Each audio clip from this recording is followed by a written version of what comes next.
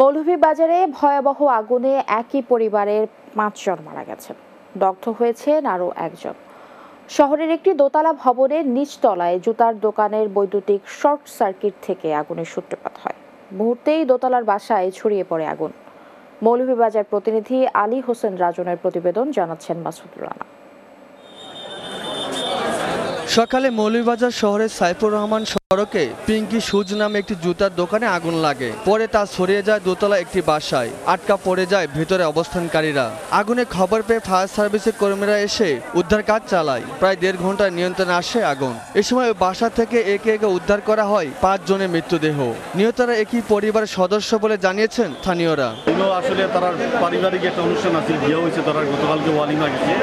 এই কারণে তারা সব তারা থাকতো তারা, ব্যবসা প্রতিষ্ঠানের পাশাপাশি তারা এগুলো থাকতাই নিহতরা হলো পিঙ্কি শু স্টোরের মালিক সুভাষ রায় তার মেয়ে পিয়া রায় ভাইয়ের স্ত্রী দীপ্তি রায় শালকের বউ দীপা রায় ও দীপা রায়ের মেয়ে বৈশাখী রায়। এছাড়া আহত আরও একজনকে হাসপাতালে ভর্তি করা হয়েছে।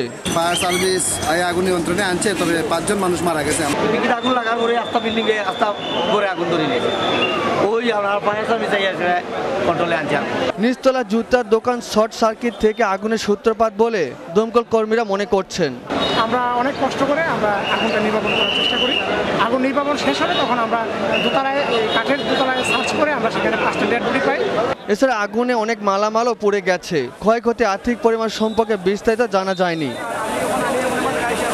Desk report Bangla TV. এখন থেকে দেশের সব ব্যাংকের প্রধান কার্যালয় ও শাখাগুলোতে সেবার মূল্য তালিকা প্রদর্শন করতে হবে। সোমবার কেন্দ্রীয় ব্যাংকের ব্যাংকিং প্রবিধি ও নীতি বিভাগ থেকে এ সংক্রান্ত একটি প্রজ্ঞাপন জারি করে দেশে কার্যরত ব্যাংকগুলোর ব্যবস্থাপনা পরিচালক, প্রধান নির্বাহী কর্মকর্তাদের কাছে পাঠানো হয়েছে।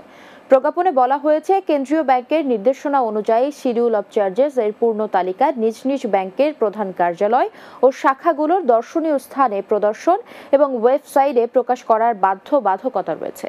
এই প্রজ্ঞাপনের মাধ্যমে ব্যাংকিং খাতে আমানত বৃদ্ধি এবং ক্ষুদ্র আমানতকারীদের ব্যাংকমুখী করার লক্ষ্যে সঞ্চয়ী ও চলতি আমানত হিসাবের বিপরীতে হিসাব পরিচালনা ফি হ্রাস করা হয়েছে।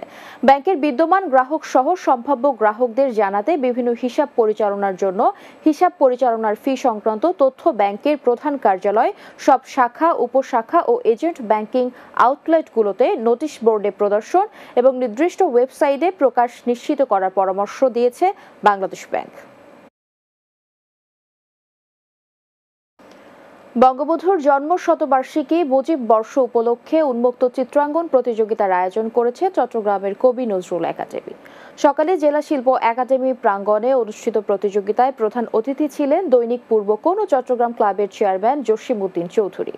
দৈনিক পূর্বকোণের সহ সম্পাদক স্পাইল পারভেজ ফারুকের সভাপতিত্বে অনুষ্ঠানে আরও উপস্থিত ছিলেন প্রেসিডেন্টস ইন্টারন্যাশনাল স্কুলে VP Firoz Ahmed, elite paint and chemical industries পরিচালক রাহিল আহমেদ, বাংলা টিভির চট্টগ্রাম ব্যুরো ইনচার্জ হান্নান হায়দার সহ অন্যান্যরা।